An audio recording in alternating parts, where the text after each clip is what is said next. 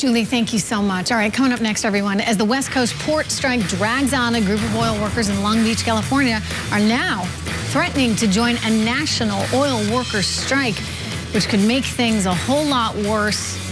How this affects the national and local economy right after this.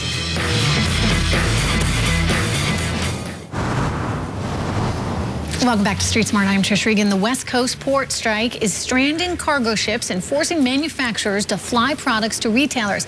Now, to make matters worse, a group of oil workers in Long Beach, California are threatening to join a national oil workers strike.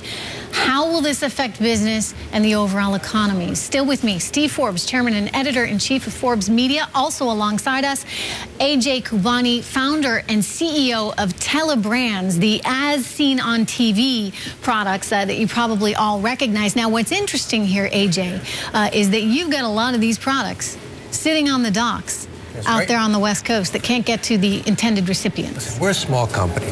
So, know, we have goods on the water, we have goods on the way in. This Ped Egg Power, which is our hottest selling product at the time. We have hundreds of thousands of these sitting at the port right now. Over 200 containers of merchandise that are sold to retailers. The retailers are waiting for the product and we can't ship it.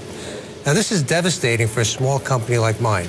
We're not insured for anything like this. We're losing revenue of $400,000 every single day.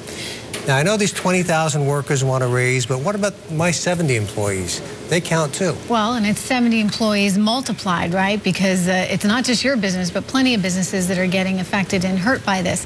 Uh, let's talk about the workers and what they want and what they're demanding. They're being paid. With benefits, they make over $180,000 a year right now. And uh, the, the PMA has offered them with, with, with uh, package, the entire package, over $200,000 a year, but they're still holding out for more. $200,000 a year to work in the port? Yes. On the West Coast? Yeah. I mean, it's a heck of a job, right? it sounds like it. Better than government work. Better than government work.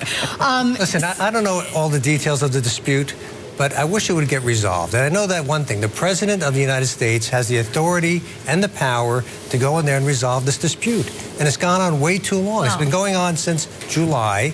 In the Christmas season, we lost millions of dollars in revenue because we couldn't get our products to the store shelf in time for Christmas. I don't think we're probably going to see the president uh, coming out uh, on, on, on the side of business on this one. I mean, your take, Steve, right now on the situation. No, it's a handful of workers. Technology is getting rid of those jobs more and more who uh, know they've got it for them by the throat and they're going to squeeze as hard as they can while they can. And uh, owners are coming back. They're doing uh, the you can work this day, you can't work that day. So they're playing that kabuki dance. Mm -hmm. But uh, as AJ says, it uh, we all pay the price for it. You know, in, in your company, you mentioned you have 70 employees. You're not insured for this kind of stuff. There are many other companies out there, probably just like yours, that are going to struggle as a result. So what's the net effect? Well, the net effect is lost sales. And the question then becomes is, are you going to recover those sales? You're not going to recover most of a chunk of those sales. You either have it or you don't. You know, it's like shopping. You always get buyer's remorse. So you want to make that sale.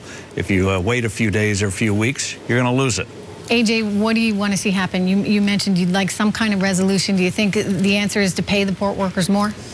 Listen, yeah, I don't care. The, the, President of the United States can go in there. He can pay the port workers more money if he wanted to. He can resolve the situation, or he can force the workers back to work. He has that authority under the Taft-Hartley Act. Act. Yeah. And so, we've seen that happen before. Yes, 90-day cooling off period. Well, President Bush was the last one to force the workers back to work in 2002.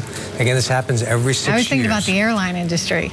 Well, the air traffic control was Reagan. Mm -hmm. you know, right. I, I like to see Obama be a little more Reagan-esque, if he could. Don't hold your breath, right? all right. Well, uh, in the meantime, what, what are you going to do with all these uh, products you've got sitting on the docks? There's nothing we can do. There's nobody we can sue for damages. We just have to wait and pray that this gets resolved. There's nothing else to do. Well, AJ, we hope it does get resolved for you. Uh, thank you very much for joining us. Steve, you're going to stick with me. Uh, we do have some breaking news.